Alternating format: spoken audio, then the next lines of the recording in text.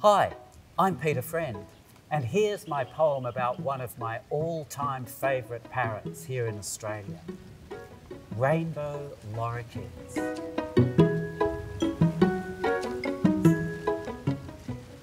They screech like metal being torn and fly like fighter planes, but their feathers are as bright as the fashions of summer or the banners of a carnival. Look at us, they scream as they zoom between trees, flashing their blue, yellow, orange, and green in the sunlight amid the grey, dull eucalypts. It's us, they yell. We've arrived.